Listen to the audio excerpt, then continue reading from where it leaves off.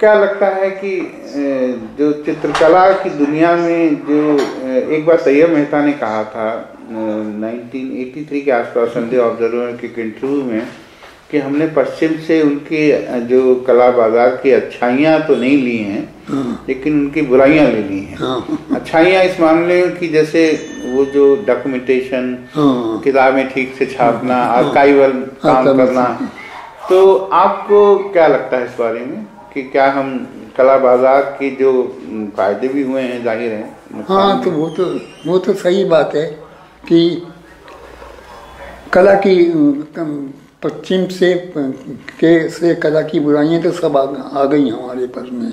लेकिन जो एक सर्च फॉर ओरिजिनलिटी या इंडियन वो भी आया था कि अपने को आप को समझने के लिए कि हम क्या हैं हम किस मायने में अलग हैं। तो ये बात भी उसको कॉन्शियस कराती थी वेस्ट से के समीप आने के बाद। अच्छा आप आपका एक शो धूमीमल गैलरी में 1968 में हुआ था। हाँ। क्योंकि मैं अभी देख रहा था आपका बायोडाटा तो जब स्वामी सेवेंटीज में वहाँ सक्रिय थे यानी काफ़ी सक्रिय थे हाँ। उन दिनों आपका शो दिल्ली में जो हुए वहाँ लेकिन 68 में एक शो हुआ था आपका हाँ। तो उस समय आप एक तो मुझे ये जानना है कि आप जब यंग थे तो यहाँ तब राम बाबू से कभी आपकी मुलाकात हाँ, राम बाबू से पहले तक बहुत पहले होती थी राम बाबू से सबसे पहले उनसे ही मुलाकात हुई थी अच्छा में और थे कि को जानते थे हम्म। तो कोई था भी नहीं। कुमार था जो सेल्समैन था और डूमीबल राम बाबू थे। राम बाबू हमारे पड़ोसी भी थे। अच्छा। हाँ कोल बाग में रहते थे वो भी कुछ दिनों के लिए आके वहाँ पर रह रहे थे। तो आपको क्या लगता है कि राम बाबू क्योंकि आप शैलोज मुखर्जी के स्टूडेंट भी रहे कुछ समय हाँ। और राम बाबू और शैलोज मुखर्जी की काफ़ी हाँ। मित्रता थी और वो काफ़ी उनके stationery shop. Cum gallery cum publication भी उनका था। अच्छा।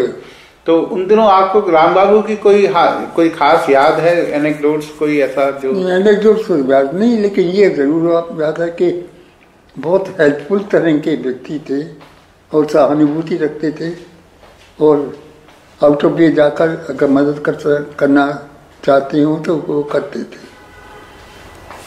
और शैलोज से उनकी जो मुलाकात कभी होती आपके मतलब रहते हुए भी हुई कभी आप तीनों मेरी शैलोज से शैलोज के साथ तो बेंगल में देखे बेंगल में जब आते थे हम्म। शैलोज भी शाम वहाँ पर ड्रिंक भी करते हम्म। थे तो वहाँ पर अक्सर मुलाकात हो जाती थी वो आके बैठते भी थे बातें भी करते थे हम्म। और जो बातें उन दिनों में उनकी बातें मुझे बहुत सही लगती थी बहुत गहरी लगती थी अच्छा कि बल्कि जब मैं कोई बात बोलता भी था तो वो चुप करा देते थे। मुझे ही बोल ले दो, मैं ही ज़्यादा जानता हूँ। शैलेश मुखर्जी को, उन बेचारों को कोई सही वो न मिला, ना उनको उतना स्थान मिला इम्पोर्टेंस मिली। तो उनकी लाइफस्टाइल जैसे स्वामीनाथन ने भी लिखा है कि वो जब एक बार कनाथ प्रेस ने पिताजी के साथ घूमते थे तो उनको एक एक जैसे कोई पागल आदमी की छवि हाँ, बनी हुई थी उनकी।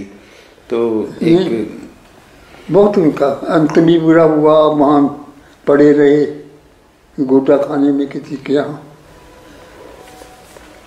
तो ये लेकिन राम बाबू का मतलब पेंटर पेंटर्स के साथ यामिनी राय वगैरह से भी संपर्क था जामिया का था जामिनी राय के थे पेंटिंग उनके पास रहते भी थे।